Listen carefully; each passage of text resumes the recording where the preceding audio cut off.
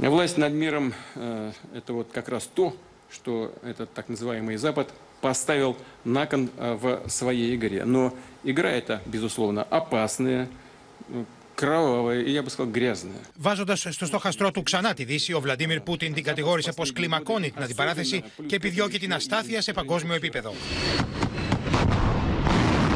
Ο Ρώσος πρόεδρος ισχυρίστηκε πως το στρατιωτικό δόγμα της Ρωσίας επιτρέπει τη χρήση πυρηνικών όπλων μόνο για άμυνα και απέρριψε τις κατηγορίες ότι η Μόσχα σχεδιάζει πυρηνικό χτύπημα στην Ουκρανία.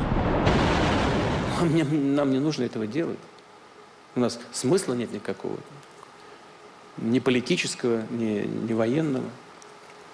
Значит, нет, это же делают. If he has no intention, why does he keep talking about it? Why does he talk about the, the, uh, the ability to use a tactical nuclear weapon? He's been very dangerous in how he's approached this. Μάλιστα, ο Πούτιν χαρακτήρισε ανισόρροπη την τέος πρωθυπουργό της Βρετανίας Λις Τρας και την κατηγόρησε πως εκείνη είχε απειλήσει ανοιχτά με χρήση πυρηνικών όπλων. Ляпнула там девушка как немножко не в себе.